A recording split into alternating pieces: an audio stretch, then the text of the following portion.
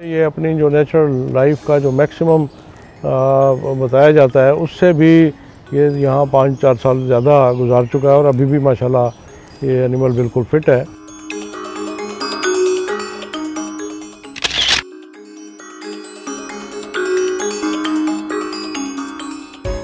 یہ nineteen seventy one میں لاہور زو میں ایک پیئر آیا تھا۔ اس وقت جو اس کی پریزنٹ ایج ہے وہ fifty four fifty five years ہے۔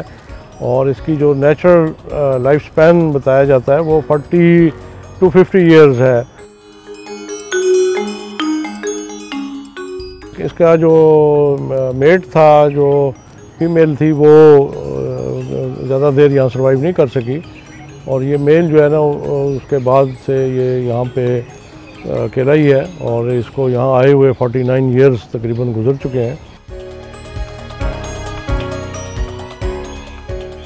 یہ جو ہے ہائیلی انڈینجرڈ اسپیشیز میں کیٹیگرائزڈ ہے اور اس کی امپورٹ یا اس کو یہاں پہ ٹرانسپورٹ کر کے لے کے آنا وہ ہائیلی ریسٹرکٹیڈ ہے۔ ان کی جو کیپٹیوٹی میں جو بریڈنگ ہے وہ نہ ہونے کے برابر ہے اور یہ وائلڈ کارڈ جو ہے وہاں سے جو اس کو صرف سورس ہو سکتا ہے جس کو نارملی زو میں ڈسکریج کیا جاتا ہے۔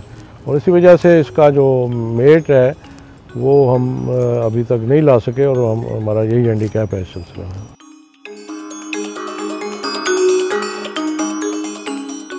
یہ ایک سولیٹری برڈ ہے۔ ان کو تباً یہ کوئی پیئرنگ یا گروپنگ نہیں کرتے، یہ علیحدہ علیحدہ رہتے ہیں بس۔ صرف میٹنگ کے دوران یہ اکٹھے ہوتے ہیں۔ اور پھر فیمیل جو ہے، وہ ایگ لینگ کرتی ہے اور انکوبیشن کا جو فریضہ ہے، وہ میل سر انجام دیتا ہے۔ فیمیل انڈوں پہ نہیں بیٹھتی ان کے جو پنجے ہیں وہ بڑے سٹرانگ ہوتے ہیں بہت سارے واقعات ان سے منسوب ہیں کہ یہ انہوں نے ایون ہیومن بینگ کو بھی جو ہے نا وہ کل کیا ہے تو یہاں پہ الحمدللہ کبھی کوئی اس طرح کا واقعہ رپورٹ نہیں ہوا ہمارے کیپروں کے ساتھ جو بھی اس کو خوراک ڈالتے ہیں ان کی دیکھ بھال کرتے ہیں ہمارا ویٹرنری اسٹاف ہے یہ جانور بڑا فرینڈلی ہے ان کے ساتھ